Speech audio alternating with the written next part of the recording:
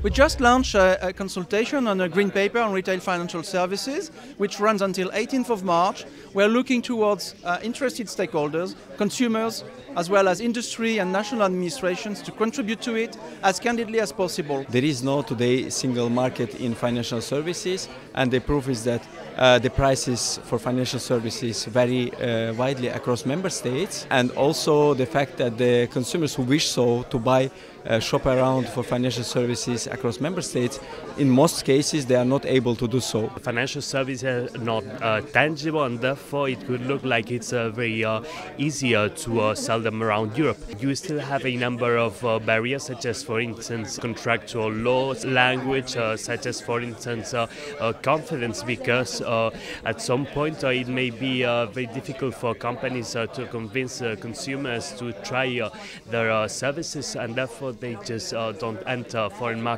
We have 28 member states, and each of the member states have their own regulation. The tricky thing is to fulfill all the requirements. So it's actually quite difficult to have one product that fits all. So I think looking at, at the opportunities, I would start to kind of harmonize uh, the, the, the, standards, to have similar standards for all the markets. Regulators are very um, careful, especially in, in the in the um, considering the financial crisis and uh, we have all this kind of regulation to protect consumers. But at the same time, we should be um, careful um, not to block innovation in the financial sector to allow newcomers, um, to allow uh, new technologies. Digital is changing uh, the financial industry, it's disrupting it.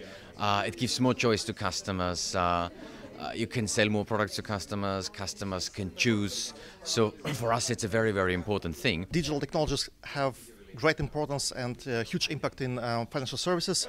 Um, we have financial services that are cheaper, um, more accessible, and more consumer oriented, um, especially data analytics um, has huge potential. We can deliver um, innovative services, uh, products to consumers, and which is hugely beneficial for, for the society at large.